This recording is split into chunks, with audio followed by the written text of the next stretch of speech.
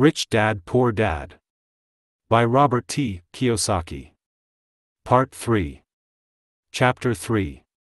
Lesson 3 Mind your own business. The rich focus on their asset columns while everyone else focuses on their income statements. In 1974, Ray Kroc, the founder of McDonald's, was asked to speak to the MBA class at the University of Texas at Austin.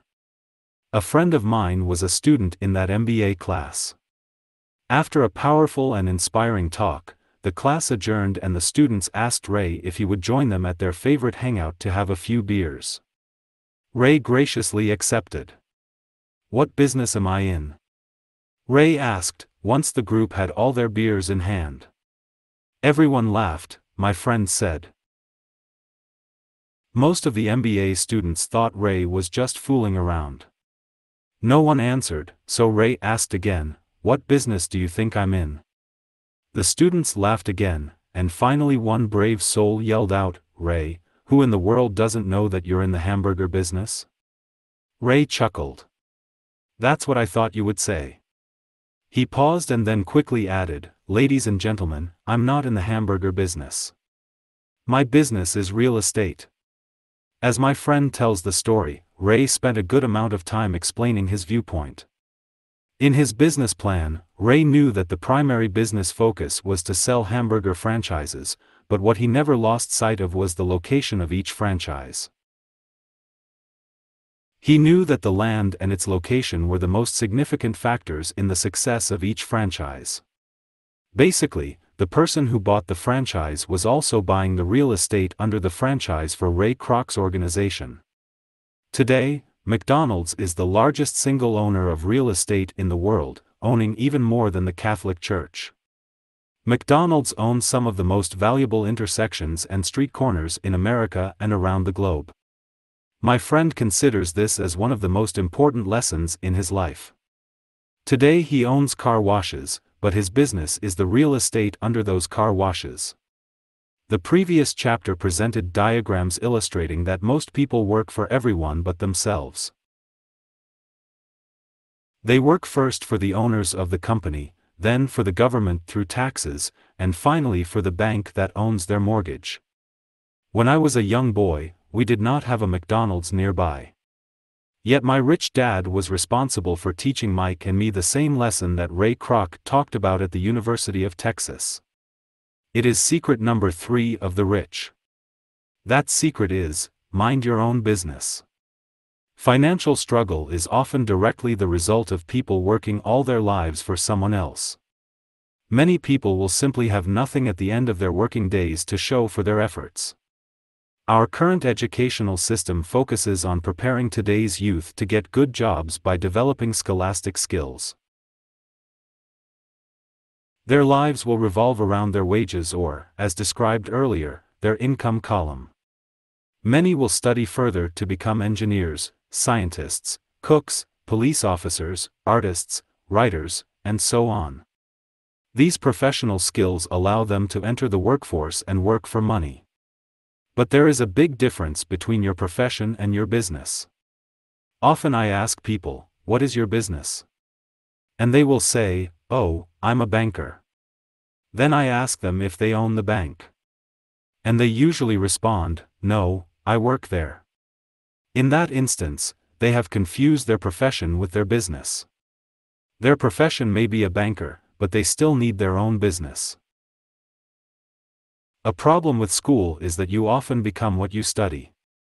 So if you study cooking, you become a chef. If you study the law, you become an attorney, and a study of auto mechanics makes you a mechanic. The mistake in becoming what you study is that too many people forget to mind their own business.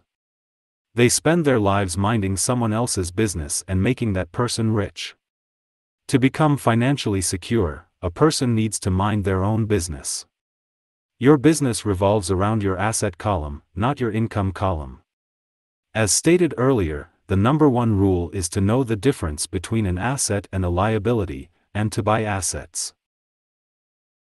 The rich focus on their asset columns, while everyone else focuses on their income statements. That is why we hear so often, I need a raise.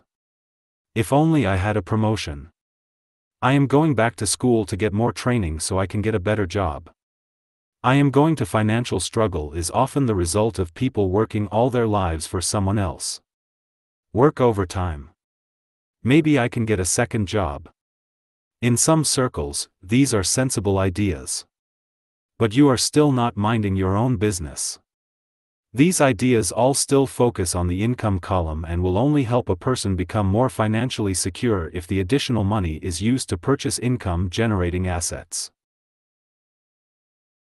The primary reason the majority of the poor and middle class are fiscally conservative, which means, I can't afford to take risks, is that they have no financial foundation. They have to cling to their jobs and play it safe. When downsizing became the in thing to do, millions of workers found out their largest so-called asset, their home, was eating them alive. Their asset was costing them money every month. Their car, another asset, was eating them alive. The golf clubs in the garage that cost $1,000 were not worth $1,000 anymore. Without job security, they had nothing to fall back on. What they thought were assets could not help them survive in a time of financial crisis. I assume most of us have filled out a credit application to buy a house or a car. It's always interesting to look at the net worth section because of what accepted banking and accounting practices allow a person to count as assets. One day when I wanted a loan, my financial position did not look too good. So I added my new golf clubs, my art collection, books, electronics, Armani suits, wristwatches, shoes, and other personal effects to boost the number in the asset column. But I was turned down because I had too much investment real estate. The loan committee didn't like that I made so much money from rent. They wanted to know why I did not have a normal job with a salary. They did not question the Armani suits, golf clubs, or art collection. Life is sometimes tough when you do not fit the standard profile. I cringe every time I hear someone say to me that their net worth is a million dollars or $100,000 or whatever. One of the main reasons net worth is not accurate is simply because, the moment you begin selling your assets, you are taxed for any gains. So many people have put themselves in deep financial trouble when they run short of income. To raise cash, they sell their assets but their personal assets can generally be sold for only a fraction of the value that is listed on their personal balance sheet. Or if there is a gain on the sale of the assets, they are taxed on the gain. So again, the government takes its share, thus reducing the amount available to help them out of debt. That is why I say someone's net worth is often worth less than they think. Start minding your own business. Keep your daytime job, but start buying real assets, not liabilities or personal effects that have no real value once you get them home. A new car loses nearly 25% of the price you pay for it the moment you drive it off the lot. It is not a true asset even if your banker lets you list it as one. My $400 new titanium driver was worth $150 the moment I teed off. Keep expenses low, reduce liabilities, and diligently build a base of solid assets. For young people who have not yet left home, it is important for parents to teach them the difference between an asset and a liability. Get them to start building a solid asset column before they leave home, get married, buy a house, have kids, and get stuck in a risky financial position, clinging to a job, and buying everything on credit. I see so many young couples who get married and trap themselves into a lifestyle that will not let them get out of debt for most of their working years. For many people, just as the last child leaves home, the parents realize they have not adequately prepared for retirement and they begin to scramble to put some money away. Then their own parents become ill and they find themselves with new responsibilities. So, what kind of assets am I suggesting that you or your children acquire? In my world, real assets fall into the following categories. As a young boy, my educated dad encouraged me to find a safe job. But my rich dad encouraged me to begin acquiring assets that I loved. If you don't love it, you won't take care of it. I collect real estate simply because I love buildings and land. I love shopping for them, and I could look at them all day long. When problems arise, the problems aren't so bad that it changes my love for real estate. For people who hate real estate, they shouldn't buy it. I also love stocks of small companies, especially startups, because I am an entrepreneur, not a corporate person. In my early years, I worked in large organizations, such as Standard Oil of California, the U.S. Marine Corps, and Xerox Corporation. I enjoyed my time with those organizations and have fond memories, but I know deep down I am not a company man. I like starting companies, not running them. So my stock buys are usually of small companies. Sometimes I even start the company and take it public. Fortunes are made in new stock issues, and I love the game. Many people are afraid of small cap companies and call them risky, and they are. But that risk is diminished if you love what the start minding your own business. Keep your daytime job, but start buying real assets, not liabilities. Investment is, understand it, and know the game. With small companies, my investment strategy is to be out of the stock in a year. On the other hand, my real estate strategy is to start small and keep trading up for bigger properties and, therefore, delay paying taxes on the gain. This allows the value to increase dramatically. I generally hold real estate less than seven years. For years, even while I was with the Marine Corps and Xerox, I did what my rich dad recommended. I kept my day job, but I still minded my own business. I was active in my asset column trading real estate and small stocks.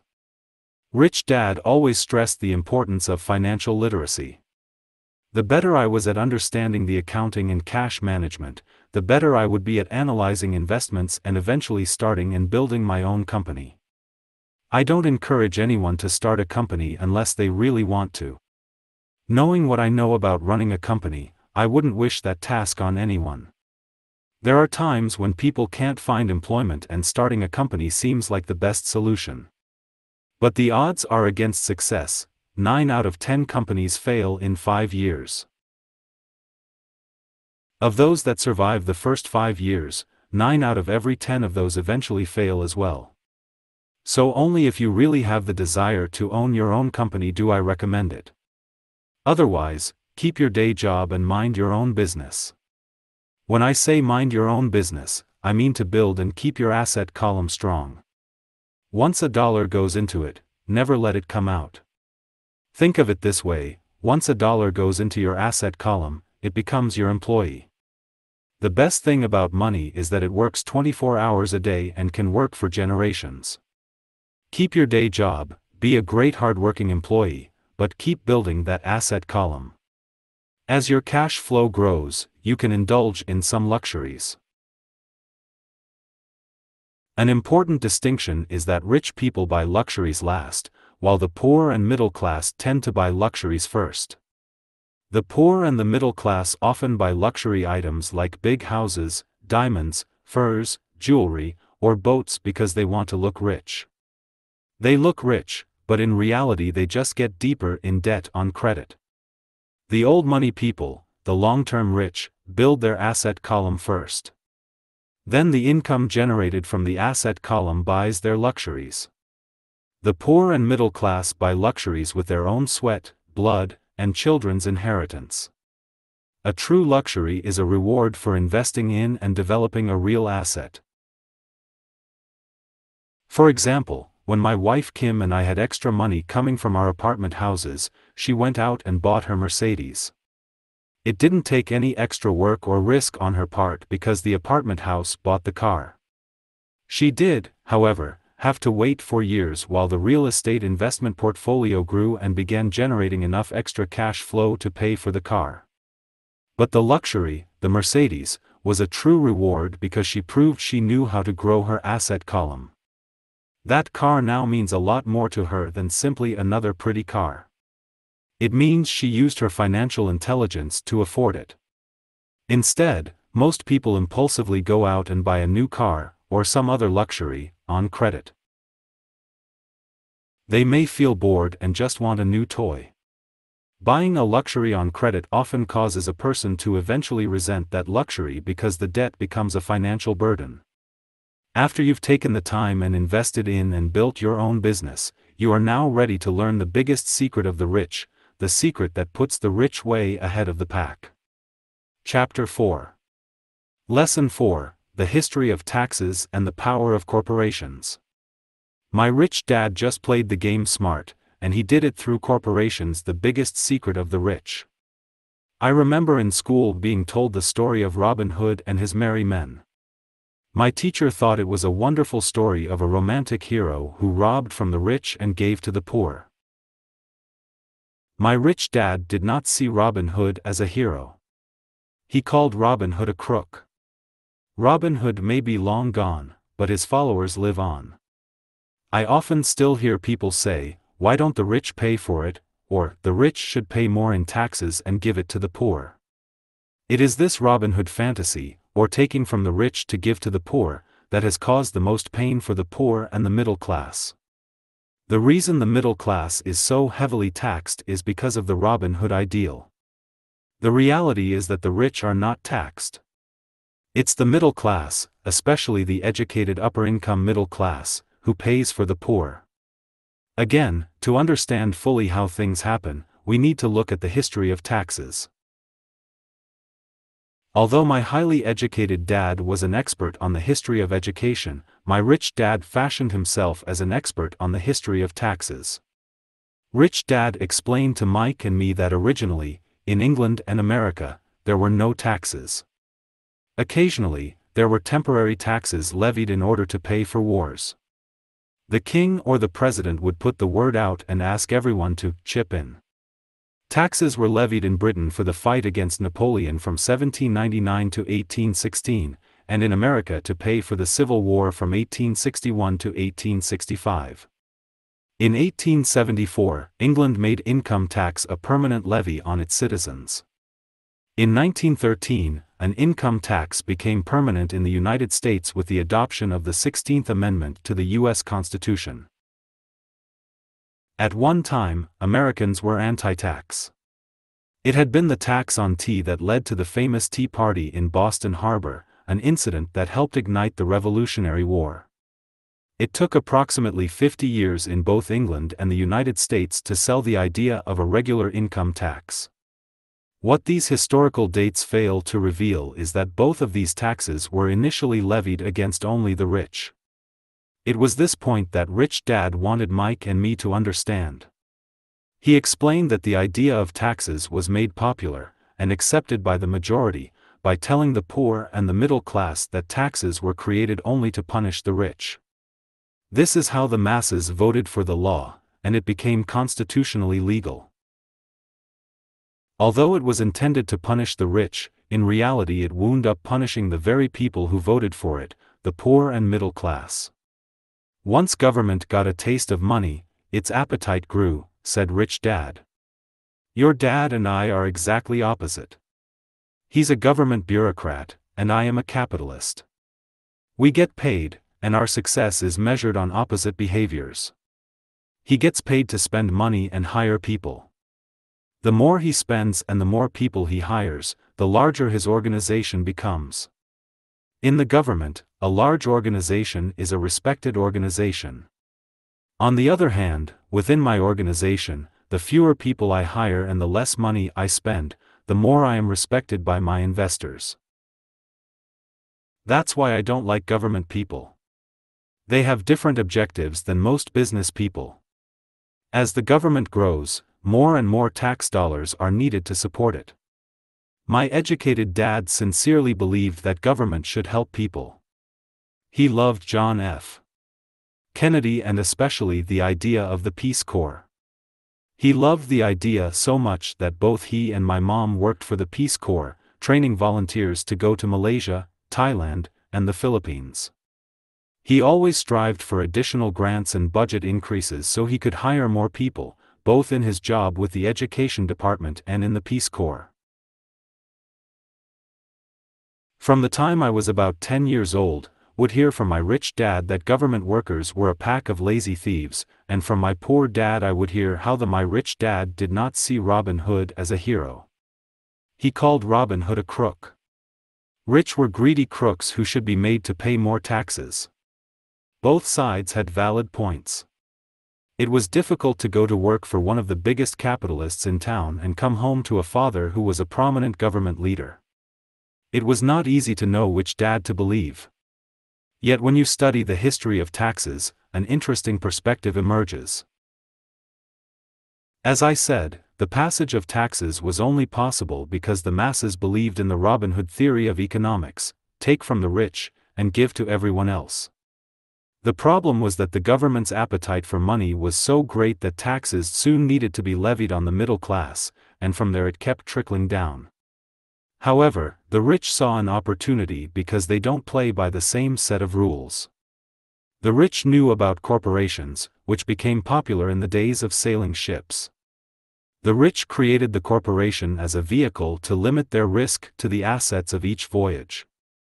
The rich put their money into a corporation to finance the voyage. The corporation would then hire a crew to sail to the New World to look for treasure. If the ship was lost, the crew lost their lives, but the loss to the rich would be limited only to the money they invested for that particular voyage.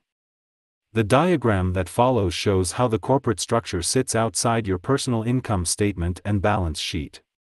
It is the knowledge of the legal corporate structure that really gives the rich a vast advantage over the poor and the middle class. Having two fathers teaching me, one a socialist and the other a capitalist, I quickly began to realize that the philosophy of the capitalist made more financial sense to me. It seemed to me that the socialists ultimately penalized themselves due to their lack of financial education. No matter what the take from the rich crowd came up with, the rich always found a way to outsmart them. That is how taxes were eventually levied on the middle class. The rich outsmarted the intellectuals solely because they understood the power of money, a subject not taught in schools. How did the rich outsmart the intellectuals? Once the take from the rich tax was passed, cash started flowing into government coffers. Initially, people were happy. Money was handed out to government workers and the rich. It went to government workers in the form of jobs and pensions, and it went to the rich via their factories receiving government contracts. The government received a large pool of money, but the problem was the fiscal management of that money. The government ideal is to avoid having excess money. If you fail to spend your allotted funds, you risk losing it in the next budget. You would certainly not be recognized for being efficient. Business people, on the other hand, are rewarded for having excess money and are applauded for their efficiency. As this cycle of growing government spending continued, the demand for money increased, and the tax the rich idea was adjusted to include lower income levels, down to the very people who voted it in, the poor and the middle class. True capitalists used their financial knowledge to simply find an escape. They headed back to the protection of a corporation. But what many people who have never formed a corporation don't know is that a corporation is not really a thing. A corporation is merely a file folder with some legal documents in it, sitting in some attorney's office and registered with a state government agency. It's not a big building or a factory or a group of people. A corporation is merely a legal document that creates a legal body without a soul. Using it, the wealth of the rich was once again protected. It was popular because the income tax rate of a corporation is less than the individual income tax rates. In addition, certain expenses could be paid by a corporation with pre-tax dollars. This war between the haves and have-nots has raged for hundreds of years. The battle is waged whenever and wherever laws are made, and it will go on forever. The problem is that the people who lose are the uninformed, the ones who get up every day and diligently go to work and pay taxes. If they only understood the way the rich play the game, they could play it too. Then they would be on their way to their own financial independence. This is why I cringe every time I hear a parent advise their children to go to school so they can find a safe, secure job. An employee with a safe, secure job, without financial aptitude, has no escape. Average Americans today work four to five months for the government just to cover their taxes. In my opinion, that is simply too long. The harder you work, the more you pay the government. That is why I believe that the idea of take from the rich backfired on the very people who voted it in. Every time people try to punish the rich, the rich don't simply comply. They react. They have the money, power, and intent to change things. They don't just sit there and voluntarily pay more taxes. Instead, they search for ways to minimize their tax burden. They hire smart attorneys and accountants, and persuade politicians to change laws or create legal loopholes. They use their resources to effect change. The tax code of the United States also allows other ways to reduce taxes. Most of these vehicles are available to anyone, but it is the rich who find them because they are minding their own business. For example, 1031 is jargon for Section 1031 of the Internal Revenue Code, which allows a seller to delay paying taxes on a piece of real estate that is sold for a capital gain through an exchange for a more expensive piece of real estate. Real estate is one investment vehicle that has a great tax advantage. As long as you keep trading up in value, you will not be taxed on the gains until you liquidate. People who don't take advantage of these legal tax savings are missing a great opportunity to build their asset columns. The poor and middle class don't have the same resources. They sit there and let the government's needles enter their arm and allow the blood donation to begin. Today, I am constantly shocked at the number of people who pay more taxes, or take fewer deductions, simply because they are afraid of the government. I have friends who have had their businesses shut down and destroyed, only to find out it was a mistake on the part of the government. I realize all that. But the price of working from January to May is a high price to pay for that intimidation. My poor dad never fought back. My rich dad didn't either. He just played the game smarter, and he did it through corporations, the biggest secret of the rich. You may remember the first lesson I learned from my rich dad. I was a little boy of nine who had to sit and wait for him to choose to talk to me. I sat in his office waiting for him to get to me. He was ignoring me on purpose. He wanted me to recognize his power and to desire to have that power for myself one day. During all the years I studied and learned from him, he always reminded me that knowledge is power. And with money comes great power if you work for money, you give the power to your employer. If money works for you, you keep the power and control it. That requires the right knowledge to keep it and make it multiply. Without that knowledge, the world pushes you around. Rich Dad constantly reminded Mike and me that the biggest bully was not the boss or the supervisor, but the tax man. The tax man will always take more if you let him. The first lesson of having money work for you, as opposed to you working for money, is all about power. If you work for money, you give the power to your employer. If money works for you, you keep the power and control it. Once we had this knowledge of the power of money working for us, he wanted us to be financially smart and not let anyone or anything push us around. If you're ignorant, it's easy to be bullied. If you know what you're talking about, you have a fighting chance. That is why he paid so much for smart tax accountants and attorneys. It was less expensive to pay them than to pay the government. His best lesson to me was be smart and you won't be pushed around as much. He knew the law because he was a law abiding citizen and because it was expensive to not know the law. If you know you're right, you're not afraid of fighting back even if you are taking on Robin Hood and his band of merry men. My highly educated dad always encouraged me to land a good job with a strong corporation. He spoke of the virtues of working your way up the corporate ladder. He didn't understand that, by relying solely on a paycheck from a corporate employer, I would be a docile cow ready for milking. When I told my rich dad of my father's advice, he only chuckled. Why not own the ladder, was all he said. As a young boy, I did not understand what Rich Dad meant by owning my own corporation. It was an idea that seemed impossible and intimidating. Although I was excited by the idea, my inexperience wouldn't let me envision the possibility that grown-ups would someday work for a company I would own. Each dollar. In my asset column was a great employee, working hard to make more employees and buy the boss a new Porsche.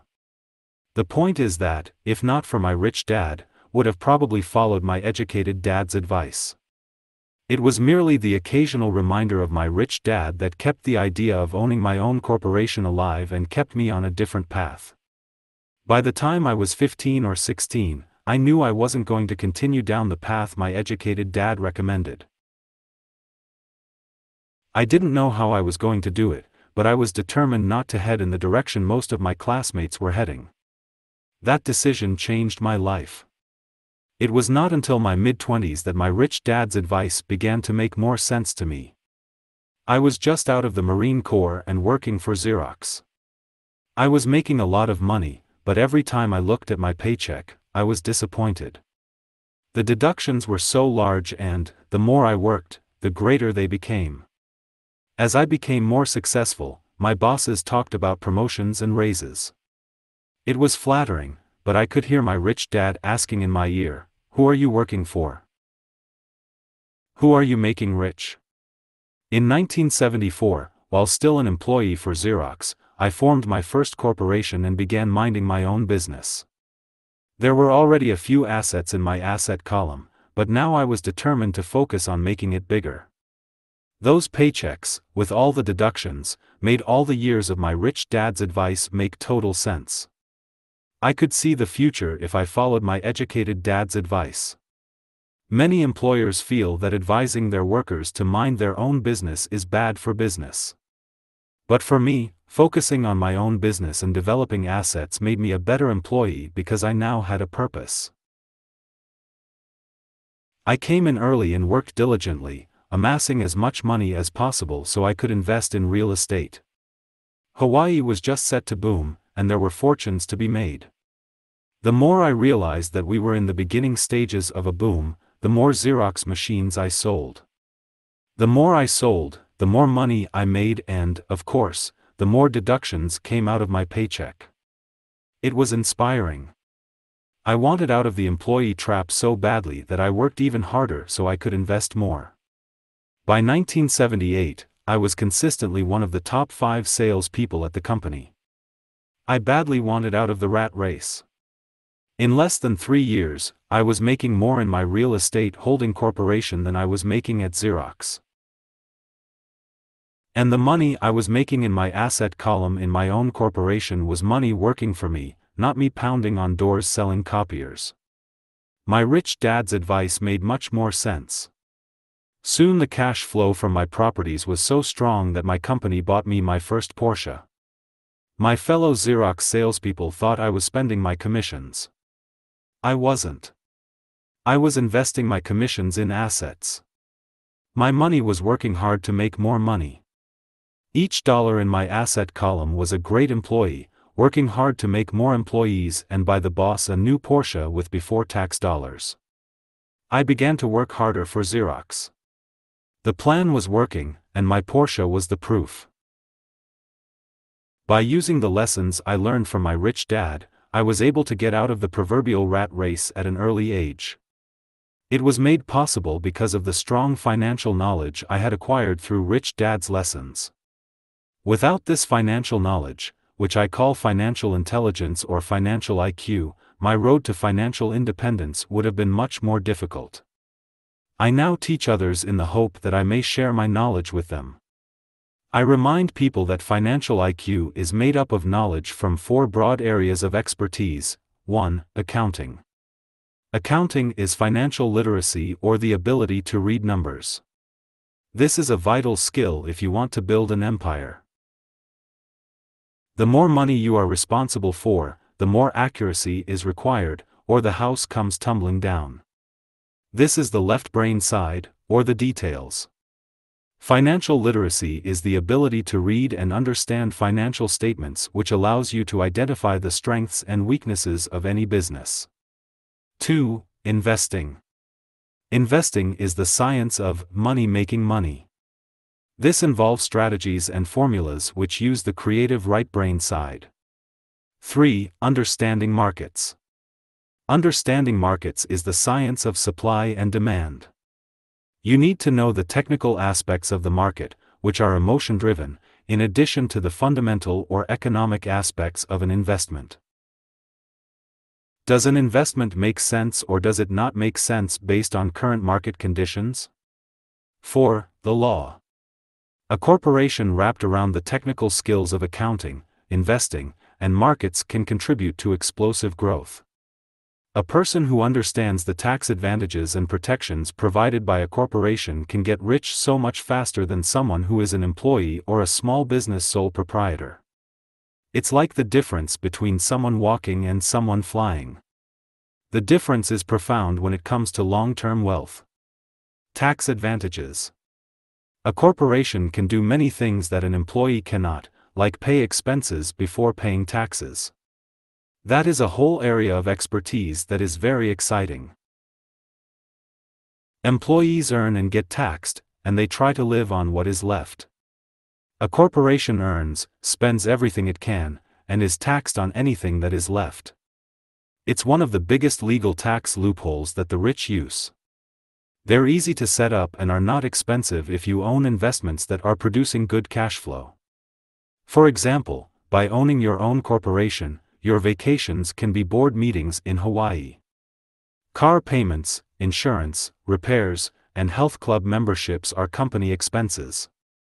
Most restaurant meals are partial expenses, and on and on. But it's done legally with pre tax dollars. Protection from lawsuits. We live in a litigious society. Everybody wants a piece of your action. The rich hide much of their wealth using vehicles such as corporations and trusts to protect their assets from creditors. When someone sues a wealthy individual, they are often met with layers of legal protection and often find that the wealthy person actually owns nothing. They control everything, but own nothing. The poor and middle class try to own everything and lose it to the government or to fellow citizens who like to sue the rich.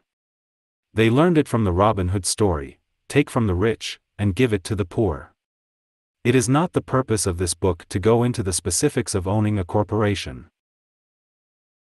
But I will say that if you own any kind of legitimate assets, I would consider finding out more about the benefits and protection offered by a corporation as soon as possible. There are many books written on the subject that will detail the benefits and even walk you through the steps necessary to set up a corporation. Garrett Sutton's books on corporations provide wonderful insight into the power of personal corporations. Financial IQ is actually the synergy of many skills and talents. I would say it is the combination of the four technical skills listed above that make up basic financial intelligence. If you aspire to great wealth, it is the combination of these skills that will greatly amplify your financial intelligence. In summary, Business owners with corporations. 1. 1. Earn. 2. Pay taxes. 3. Spend. Employees who work for corporations 1. Earn. 2. Spend. 3. Pay taxes. As part of your overall financial strategy, I recommend that you learn about the protection that legal entities can provide for businesses and assets. Chapter 5 Lesson 5 The Rich Invent Money. Often in the real world, it's not the smart who get ahead, but the bold. Last night, I took a break from writing and watched a TV program on the history of a young man named Alexander Graham Bell. Bell had just patented his telephone and was having growing pains because the demand for his new invention was so strong. Needing a bigger company, he then went to the giant at that time, Western Union, and asked them if they would buy his patent and his tiny company. He wanted $100,000 for the whole package. The president of Western Union scoffed at him and turned him down, saying the price was ridiculous. The rest is history. A multi-billion dollar industry emerged, and AT&T was born. The evening news came on right after the story of Alexander Graham Bell. On the news was a story of another downsizing at a local company. The workers were angry and complained that the company ownership was unfair. A terminated manager of about 45 years of age had his wife and two babies at the plant and was begging the guards to let him talk to the owners to ask if they would reconsider his termination. He had just bought a house and was afraid of losing it. The camera focused in on his pleading for all the world to see. Needless to say, it held my attention. I have been teaching professionally since 1984. It has been a great experience and a rewarding one. I have taught thousands of individuals and I see one thing in common in all of us, myself included. We all have tremendous potential, and we all are blessed with gifts. Yet the one thing that holds all of us back is some degree of self doubt. It is not so much the lack of technical information that holds us back, but more the lack of self confidence. Some are more affected than others. Once we leave school, most of us know that it is not so much a matter of college degrees or good grades that count. In the real world outside of academics, something more than just grades is required. I have heard it called many things guts, chutzpah, balls, audacity, bravado, cunning, daring, tenacity, and brilliance. This factor, whatever it is labeled, ultimately decides one's future much more than school grades do. Inside each of us is one of these brave, brilliant, and daring characters. There is also the flip side of that character people who could get down on their knees and beg if necessary. After a year in Vietnam as a Marine Corps pilot, I got to know both of those characters inside of me intimately. One is not better than the other. Yet as a teacher, I recognized that it was excessive fear and self-doubt that were the greatest detractors of personal genius. It broke my heart to see students know the answers, yet lack the courage to act on the answer. Often in the real world, it's not the smart who get ahead, but the bold. In my personal experience, your financial genius requires both technical knowledge as well as courage. If fear is too strong, the genius is suppressed. In my classes, I strongly urge students to learn to take risks, to be bold, and to let their genius convert that fear into power and brilliance. It works for some and just terrifies others. I have come to realize that for most people, when it comes to the subject of money, they would rather play it safe. I have had to field questions such as Why take risks? Why should I bother developing my financial IQ? Why should I become financially literate?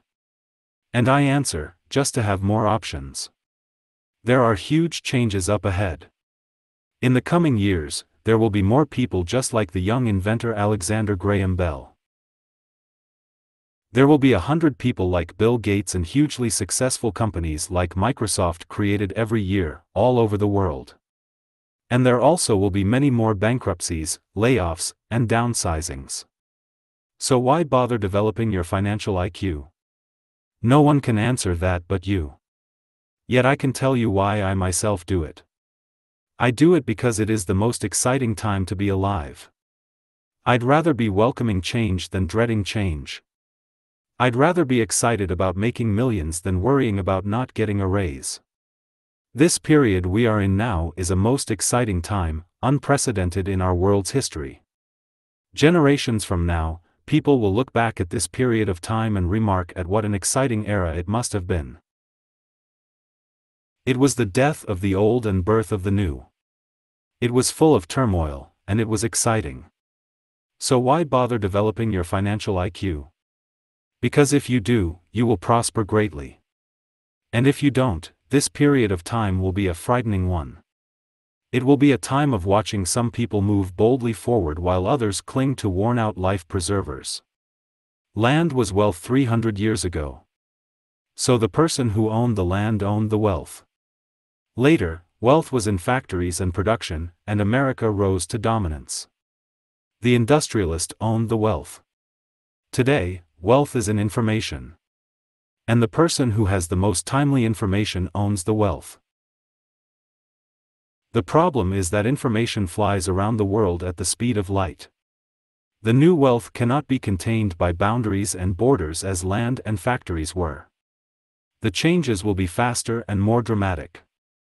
There will be a dramatic increase in the number of new multimillionaires. There also will be those who are left behind.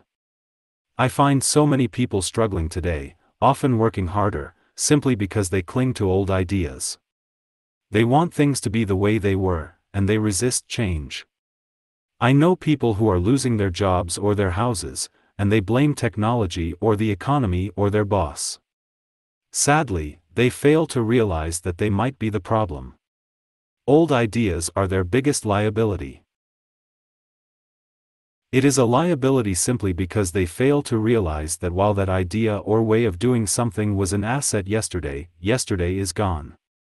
One afternoon I was teaching how to invest using a board game I had invented, Cashflow, as a teaching tool. A friend had brought someone along to attend the class. This friend of a friend was recently divorced, had been badly burned in the divorce settlement, and was now searching for some answers. Her friend thought the class might help. The game was designed to help people learn how money works. In playing the game, they learn about the interaction of the income statement with the balance sheet. You can play Cashflow Classic on the web at www.richdad.com and learn how money works. They learn how cash flows between the two and how the road to wealth is through striving to increase your monthly cash flow from the asset column to the point that it exceeds your monthly expenses. Once you accomplish this, you are able to get out of the rat race and out onto the fast track. As I have said, some people hate the game, some love it, and others miss the point. This woman missed a valuable opportunity to learn something. In the opening round, she drew a doodad card with the boat on it. At first she was happy. Oh, I've got a boat. Then, as her friend tried to explain how the numbers worked on her income statement and balance sheet, she got frustrated because she had never liked math. The rest of her table waited while her friend continued explaining the relationship between the income statement, balance sheet, and monthly cash flow. Suddenly, when she realized how the numbers worked, it dawned on her that her boat was eating her alive. Later on in the game, she was also downsized and had a child. It was a horrible game for her. After the class, her friend came by and told me that she was upset. She had come to the class to learn about investing and did not like the idea that it took so long to play a silly game. Her friend attempted to tell her to look within herself to see if the game reflected her in any way. With that suggestion, the woman demanded her money back. She said that the very idea that a game could be a reflection of her was ridiculous. Her money was promptly refunded, and she left. Since 1984, I have made millions simply by doing what the school system does not do. In school, most teachers lecture. I hated lectures as a student. I was soon bored, and my mind would drift. In 1984, I began teaching via games and simulations, and I still rely on these tools today. I always encourage adult students to look at games as reflecting back to them what they know and what they need to learn. Most importantly, games reflect behavior. They are instant feedback systems. Instead of the teacher lecturing you, the game is giving you a personalized lecture, one that is custom made just for you. The friend of the woman who left later called to give me an update. She said her friend was fine and had calmed down. In her cooling off period, she could see some slight relationship between the game and her life. Although she and her husband did not own a boat, they did own everything else games reflect behavior. They are instant feedback systems. Imaginable. She was angry after their divorce, both because he had run off with a younger woman and because, after 20 years of marriage, they had accumulated little in the way of assets. There was virtually nothing for them to split. Their 20 years of married life had been incredible fun, but all they had accumulated was a ton of doodads. She realized that her anger at doing the numbers, the income statement and balance sheet, came from her embarrassment about not understanding them. She had believed that finances were the man's job. She maintained the house and did the entertaining, and he handled the finances. She was now quite certain that in the last five years of their marriage, he had hidden money from her. She was angry at herself for not being more aware of where the money was going, as well as for not knowing about the other woman. Just like a board game, the world is always providing us with instant feedback. We could learn a lot if we tuned in more. One day not long ago, I complained to my wife that the cleaners must have shrunk my pants. My wife gently smiled and poked me in the stomach to inform me that the pants had not shrunk.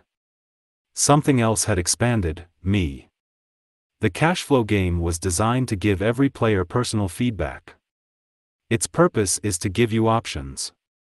If you draw the boat card and it puts you into debt, the question is, now what can you do? How many different financial options can you come up with? That is the purpose of the game, to teach players to think and create new and various financial options. Thousands of people throughout the world have played this game. The players who get out of the rat race the quickest are the people who understand numbers and have creative financial minds. They recognize different financial options. Rich people are often creative and take calculated risks. People who take the longest are people who are not familiar with numbers and often do not understand the power of investing. Some people playing cash flow.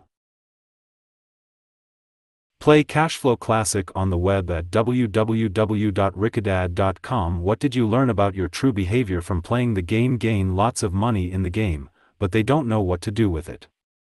Even though they have money, everyone else seems to be getting ahead of them. And that is true in real life.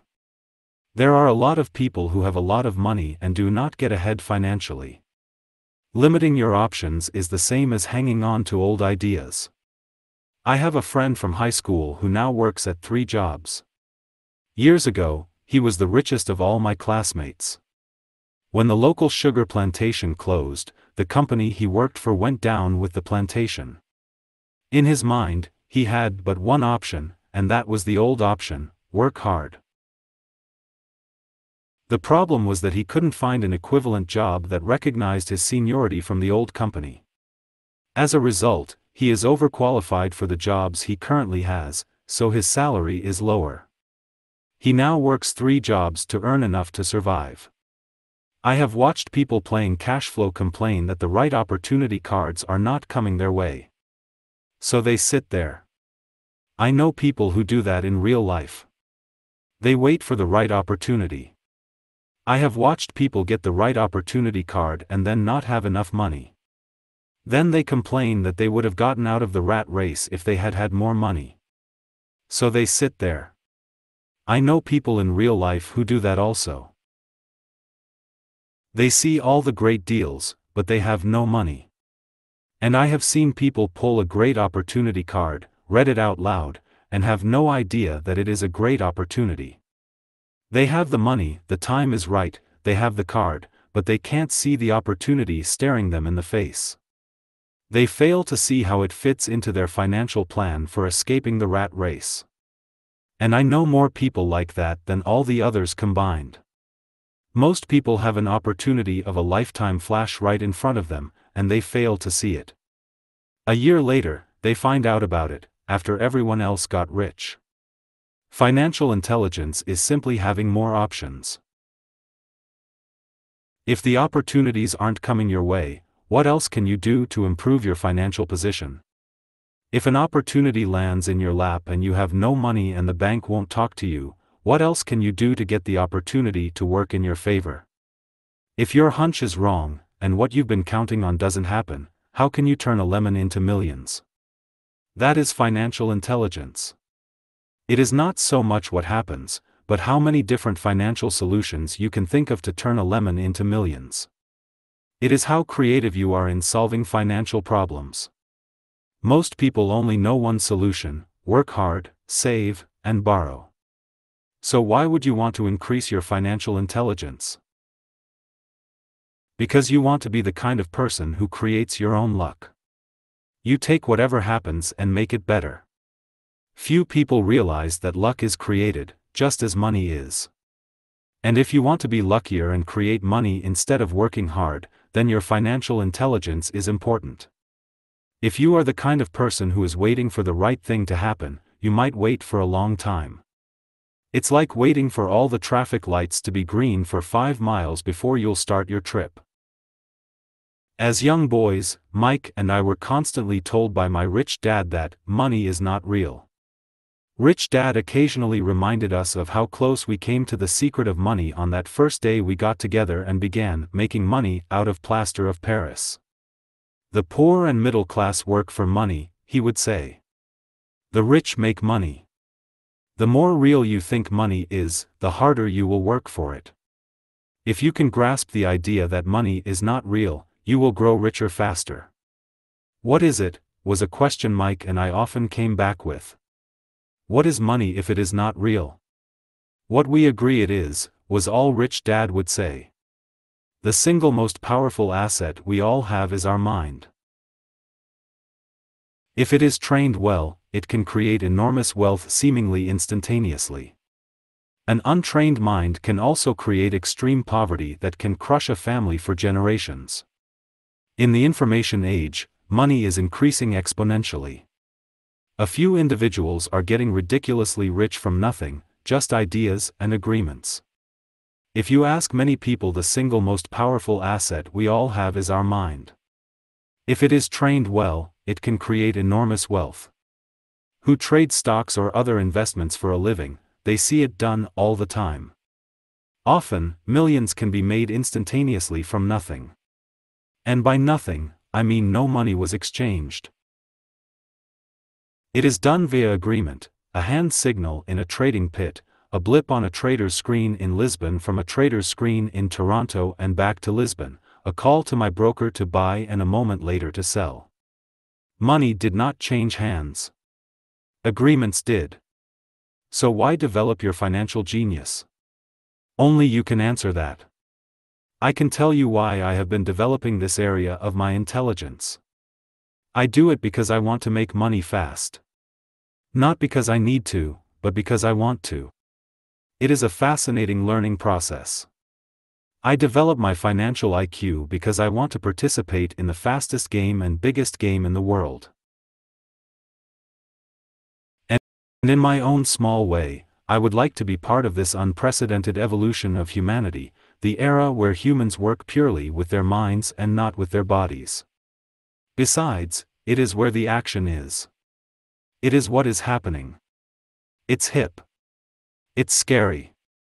And it's fun. That is why I invest in my financial intelligence, developing the most powerful asset I have. I want to be with people moving boldly forward. I do not want to be with those left behind. I will give you a simple example of creating money. In the early 1990s, the economy of Phoenix, Arizona, was horrible. I was watching a TV show when a financial planner came on and began forecasting doom and gloom. His advice was to save money. Put $100 away every month, he said. In 40 years you will be a multimillionaire. Well, putting money away every month is a sound idea. It is one option, the option most people subscribe to. The problem is this it blinds the person to what is really going on. It causes them to miss major opportunities for much more significant growth of their money. The world is passing them by. As I said, the economy was terrible at that time. For investors, this is the perfect market condition. A chunk of my money was in the stock market and in apartment houses. I was short of cash. Because people were giving properties away, I was buying. I was not saving money. I was investing. Kim and I had more than a million dollars in cash working in a market that was rising fast. It was the best opportunity to invest. The economy was terrible. I just could not pass up these small deals. Houses that were once $100,000 were now $75,000. But instead of shopping with local real estate agents, I began shopping at the bankruptcy attorney's office, or the courthouse steps. In these shopping places, a $75,000 house could sometimes be bought for $20,000 or less. For $2,000, which was loaned to me from a friend for 90 days for $200, I gave an attorney a cashier's check as a down payment. While the acquisition was being processed, I ran an ad advertising a $75,000 house for only $60,000 and no money down. The phone rang hard and heavy. Prospective buyers were screened and once the property was legally mine, all the prospective buyers were allowed to look at the house. It was a feeding frenzy. The house sold in a few minutes. I asked for a $2,500 processing fee, which they gladly handed over, and the escrow and title company took over from there. I returned the $2,000 to my friend with an additional $200. He was happy, the home buyer was happy, the attorney was happy, and I was happy. I had sold a house for $60,000 that cost me $20,000. The $40,000 was created from money in my asset column in the form of a promissory note from the buyer. Total working time 5 hours. So now that you are on your way to becoming more financially literate and skilled at reading numbers, I will show you why this is an example of money being invented. During this depressed market, Kim and I were able to do six of these simple transactions in our spare time. While the bulk of our money was in larger properties and the stock market, we were able to create more than $190,000 in assets, notes at 10% interest, in those six buy, create, and sell transactions. That comes to approximately $19,000 a year income, much of it sheltered through our private corporation. Much of that $19,000 a year goes to pay for our company cars, gas, trips, insurance, dinners with clients, and other things. By the time the government gets a chance to tax that income, it's been spent on legally allowed pre tax expenses. This was a simple example of how money is invented, created, and protected using financial intelligence. Ask yourself how long would it take to save $190,000? Would the bank pay you 10% interest on your money? And the promissory note is good for 30 years. I hope they never pay me the $190,000. I have to pay a tax if they pay me the principal, and besides, $19,000 paid over 30 years is a little over $500,000 in income. I have people ask what happens if the person doesn't pay. That does happen, and it's good news. That $60,000 home could be taken back and resold for $70,000, and another $2,500 collected as a loan processing fee. It would still be a zero down transaction in the mind of the new buyer. And the process would go on. The first time I sold the house, I paid back the $2,000, so technically, I have no money in the transaction. My return on investment, ROI, is infinity. It's an example of no money making a lot of money. In the second transaction, when resold, would have put $2,000 in my pocket and re-extended the loan to 30 years. What would my ROI be if I got paid money to make money? I do not know, but it sure beats saving $100 a month, which actually starts out as $150 because it's after tax income for 40 years earning low interest. And again, you're taxed on the interest. That is not too intelligent. It may be safe, but it's not smart.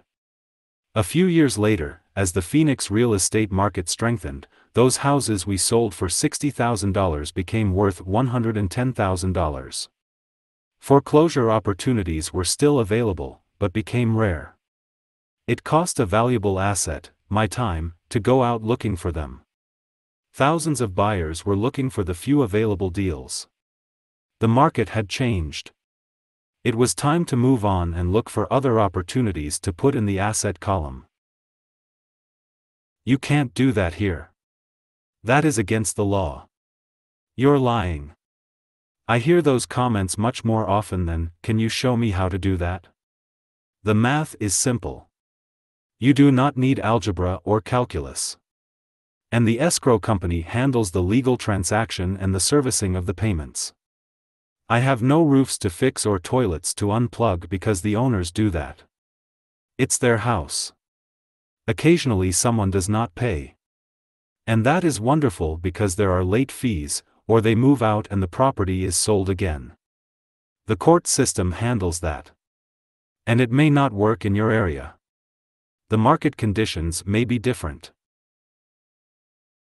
But the example illustrates how a simple financial process can create hundreds of thousands of dollars, with little money and low risk.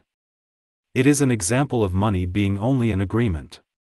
Anyone with a high school education can do it. Yet most people won't. Most people listen to the standard advice of work hard and save money. For about 30 hours of work, approximately $190,000 was created in the asset column, and no taxes were paid. If you use option number 1, be sure to factor in how much time it takes you to save $190,000. Time is one of your greatest assets. Now you may understand why I silently shake my head when I hear parents say, My child is doing well in school and receiving a good education. It may be good, but is it adequate? I know the above investment strategy is a small one. It is used to illustrate how small can grow into big. Again, my success reflects the importance of a strong financial foundation, which starts with a strong financial education.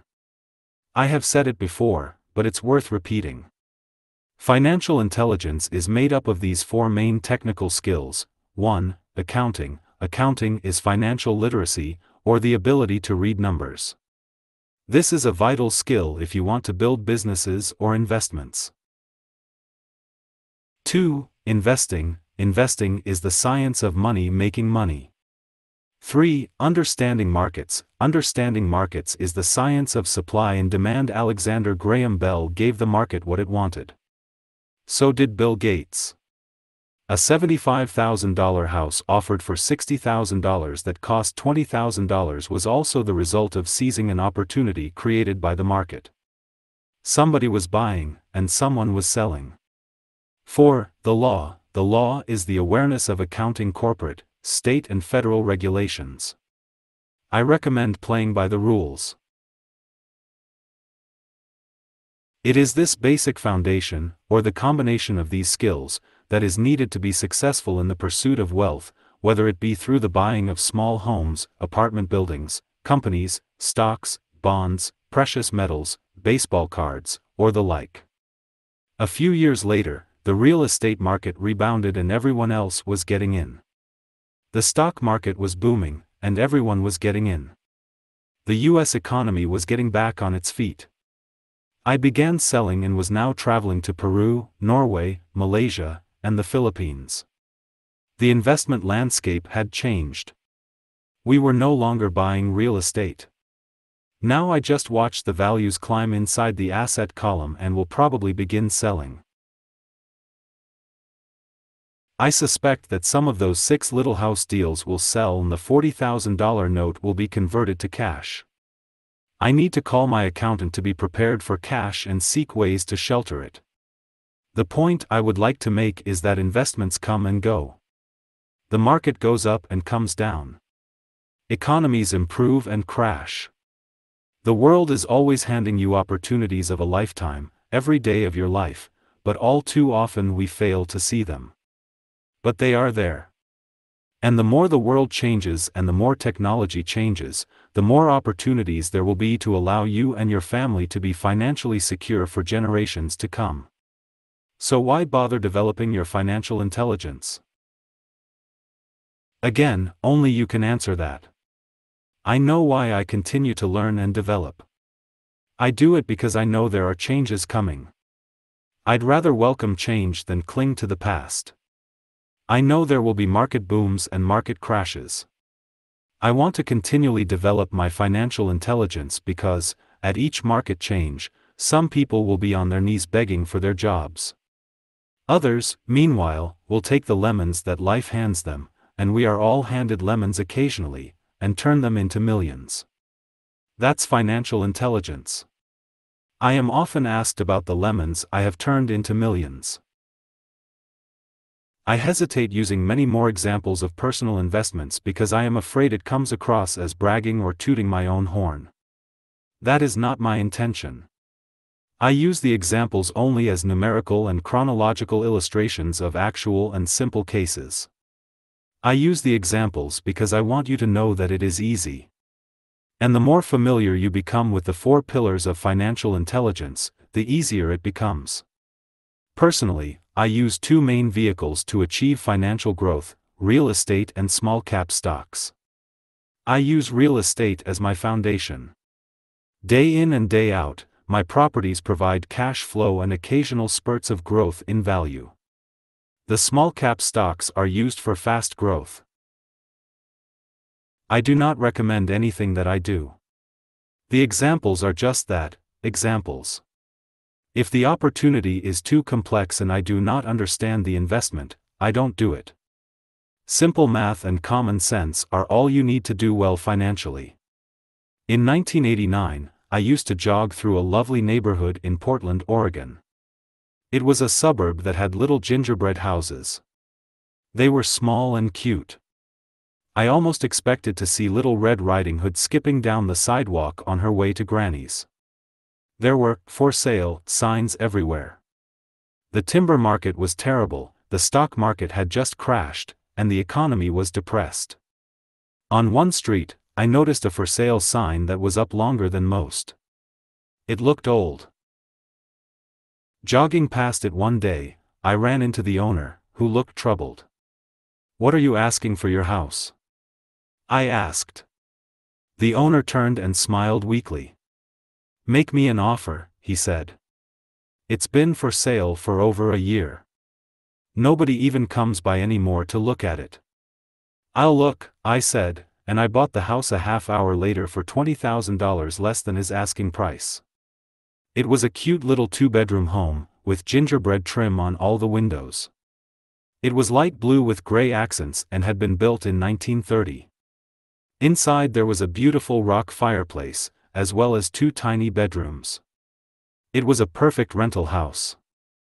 I gave the owner $5,000 down for a $45,000 house that was really worth $65,000, except that no one wanted to buy it. The owner moved out in a week, happy to be free, and my first tenant moved in, a local college professor. After the mortgage, expenses, and management fees were paid, I put a little less than $40 in my pocket at the end of each month. Hardly exciting.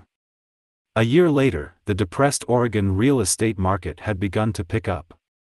California investors, flush with money from their still booming real estate market, were moving north and buying up Oregon and Washington. I sold that little house for $95,000 to a young couple from California who thought it was a bargain. My capital gains of approximately $40,000 were placed into a 1031 tax deferred exchange, and I went shopping for a place to put my money.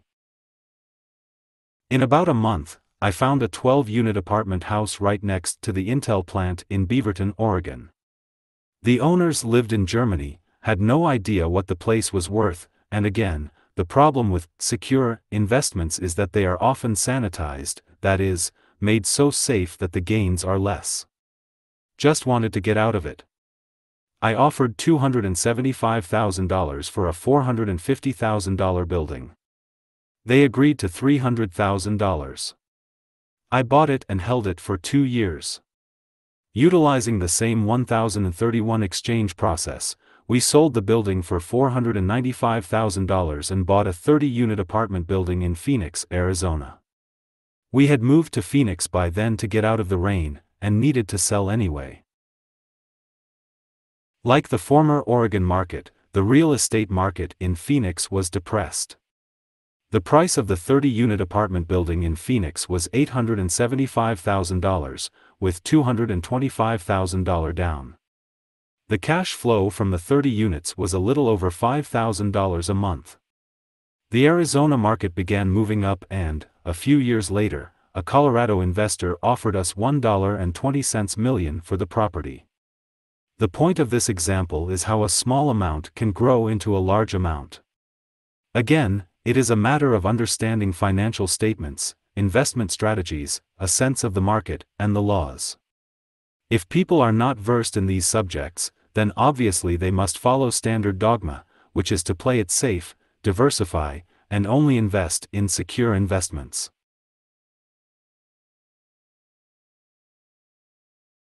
The problem with secure investments is that they are often sanitized, that is, made so safe that the gains are less. Most large brokerage houses will not touch speculative transactions in order to protect themselves and their clients. And that is a wise policy. The really hot deals are not offered to people who are novices. Often, the best deals that make the rich even richer are reserved for those who understand the game. It is technically illegal to offer speculative deals to someone who is considered not sophisticated, but of course it happens. The more sophisticated I get, the more opportunities come my way. Another case for developing your financial intelligence over a lifetime is simply that more opportunities are presented to you. And the greater your financial intelligence, the easier it is to tell whether a deal is good. It's your intelligence that can spot a bad deal, or make a bad deal good. The more I learn, and there is a lot to learn, the more money I make simply because I gain experience and wisdom as the years go on. I have friends who are playing it safe, working hard at their profession, and failing to gain financial wisdom, which does take time to develop. My overall philosophy is to plant seeds inside my asset column that is my formula. I start small and plant seeds. Some grow, some don't. Inside our real estate corporation, we have property worth several million dollars. It is our own REIT, or Real Estate Investment Trust. The point I'm making is that most of those millions started out as little $5,000 to $10,000 investments. All of those down payments were fortunate to catch a fast rising market and increase tax free. We traded in and out several times over a number of years. We also own a stock portfolio, surrounded by a corporation that Kim and I call our personal mutual fund. We have friends who deal specifically with investors like us who have extra money each month to invest. We buy high risk, speculative private companies that are just about to go public on a stock exchange in the United States or Canada. An example of how fast gains can be made are 100,000 shares purchased for 25 cents each before the company goes public. Six months later, the company is listed, and the 100,000 shares now are worth $2 each. If the company is well managed, the price keeps going up, and the stock may go to $20 or more per share. There are years when our $25,000 has gone to a million in less than a year. It is not gambling if you know what you're doing. It is gambling if you're just throwing money into a deal and praying. The idea in anything is to use your technical knowledge, wisdom, and love of the game to cut the odds down, to lower the risk. Of course, there is always risk. It is financial intelligence that improves the odds. Thus, what is risky for one person is less risky to someone else. That is the primary reason I constantly encourage people to invest more in their financial education than in stocks, real estate, or other markets. The smarter you are, the better chance you have of beating the odds. The stock plays I personally invested in were extremely high risk for most people and absolutely not recommended. I have been playing that game since 1979 and have paid more than my share in dues. But if you will reread why investments such as these are high risk for most people, you may be able to set your life up differently, so that the ability to take $25,000 and turn it into $1 million in a year is low risk for you. As stated earlier, nothing I have written is a recommendation. It is only used as an example of what is simple and possible. What I do is small potatoes in the grand scheme of things. Yet for the average individual, a passive income of more it is not gambling if you know what you're doing.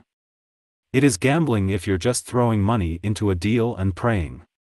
Then $100,000 a year is nice and not hard to achieve. Depending on the market and how smart you are, it could be done in 5 to 10 years.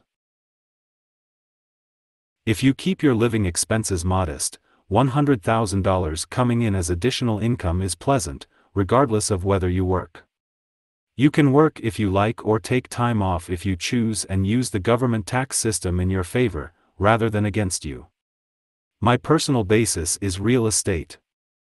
I love real estate because it's stable and slow moving. I keep the base solid. The cash flow is fairly steady and, if properly managed, has a good chance of increasing in value.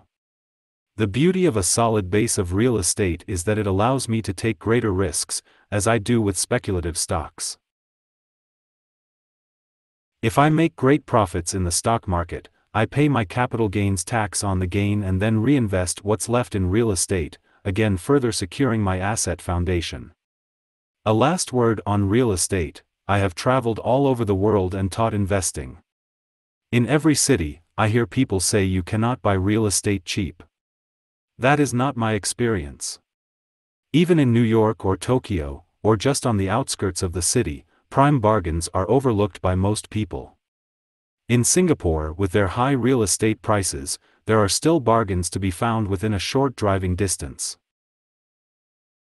So whenever I hear someone say, you can't do that here, pointing at me, I remind them that maybe the real statement is, I don't know how to do that here, yet. Great opportunities are not seen with your eyes. They are seen with your mind. Most people never get wealthy simply because they are not trained financially to recognize opportunities right in front of them. I am often asked, How do I start?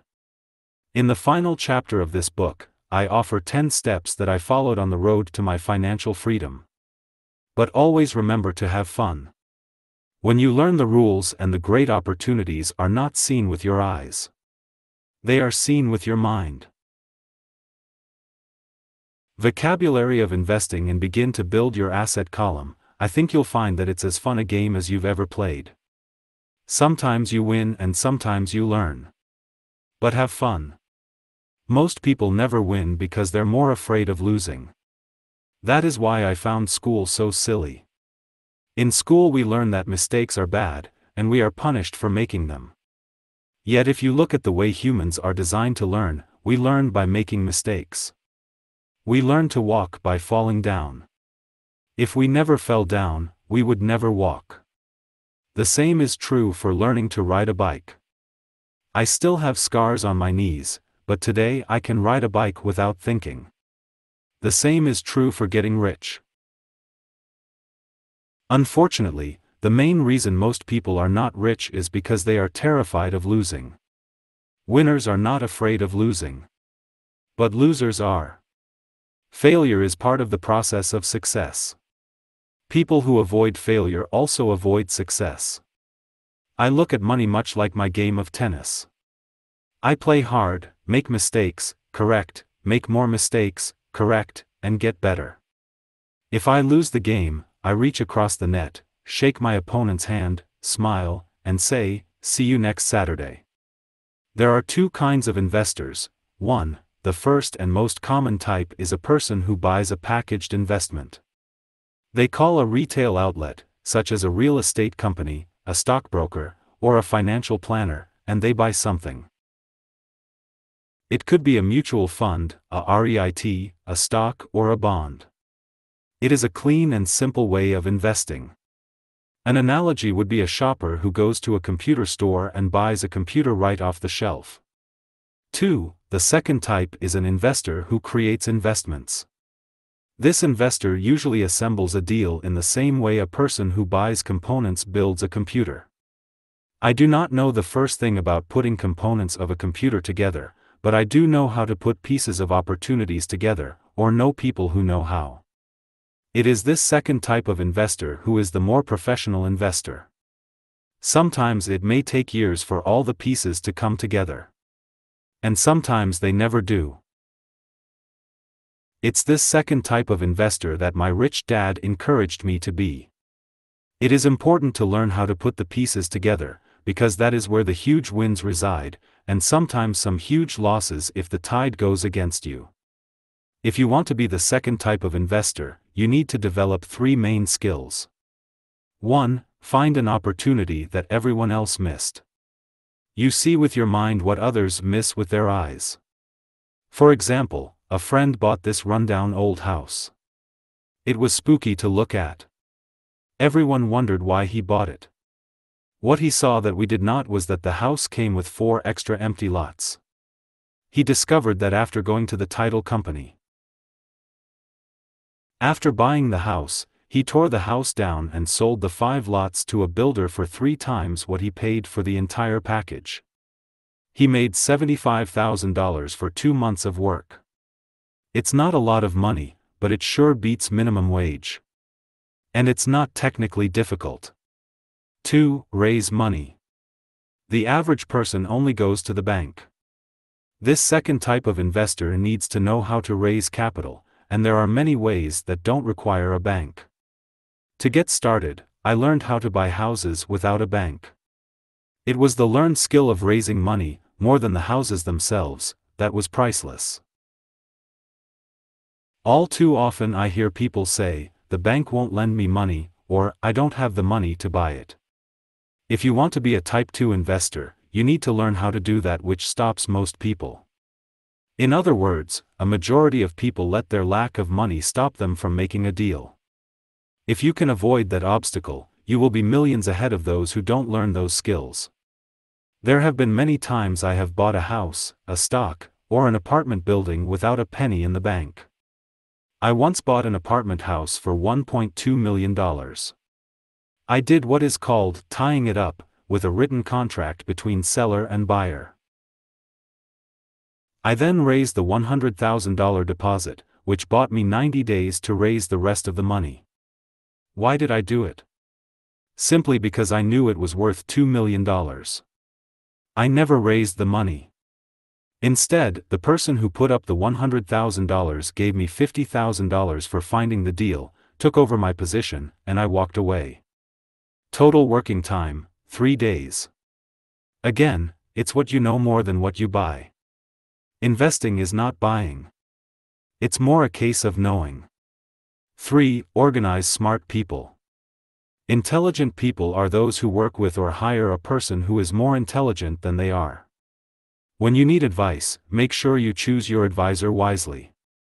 There is a lot to learn, but the rewards can be astronomical.